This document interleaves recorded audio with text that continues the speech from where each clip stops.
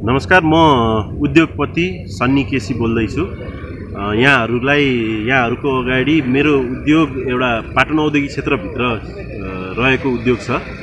जसको नाम इको पोलिप्याक छ र ब्रान्ड नेम हाम्रो यो अक्वा वाटर किङ भन्ने ब्रान्ड नेम छ।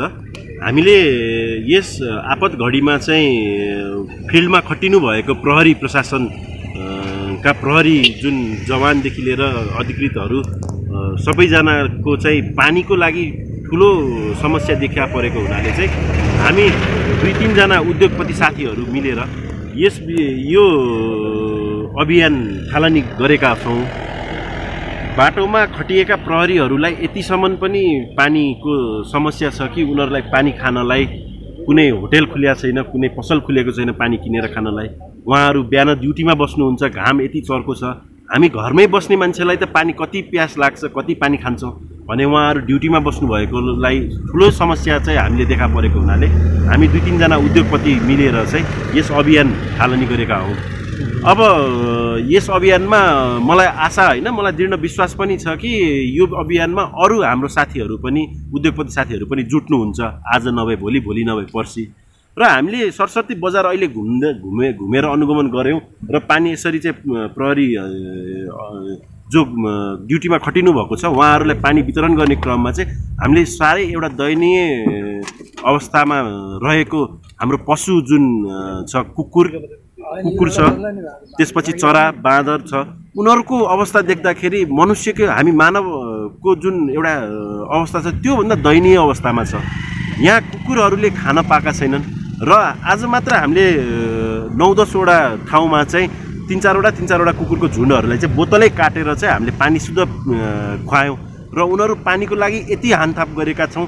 त्यो भिडियो हामीले हजुरहरूलाई प्रस्तुत गर्न सकेनौँ। तर यति अवस्था चाहिँ यति दयनीय अवस्था पुग्ला भनेर चाहिँ कसैले कल्पनै गरि गरि गरिएको थिएन। र यो लकडाउनको जुन सरकारको जुन यो निर्णय छ यो एकदमै स्वागतनीय र एकदमै हृदयबाट चाहिँ यो लकडाउनको उसमा चाहिँ समर्थन जनाउँछु म र मेरो टिमहरूले। र यसै सेक्टरमा चाहिँ अब यही विषयमा लकडाउनकै विषयमा चाहिँ आउने जति पनि बाधाहरू छ त्यसको लागि चाहिँ हामीले एउटा समिति गठन गर्ने भन्ने सोच बनाएका छौँ।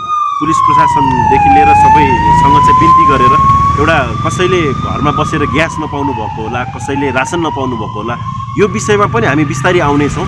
तर अहिले हाम्रो मूल उद्देश्य भनेको चाहिँ ड्युटीमा खटिएका प्रहरीलाई चाहिँ पानी निशुल्क पानी वितरण गर्ने हाम्रो अभियान जुन हामीले थालनी गरेका छौँ यही अभियानलाई चाहिँ हामीले निरन्तर दिनलाई चाहिँ हामीले यसरी अहिले चोक चोकमा चाहिँ खटिएका प्रहरीहरूलाई पानी दिँदैछौँ। अहिलेसम्म कति पानी वितरण गर्नुभयो तपाईँहरूले? अहिलेसम्म हामीले लगभग तिन सय कार्टुन माथि पानी वितरण गरिसकेका छौँ।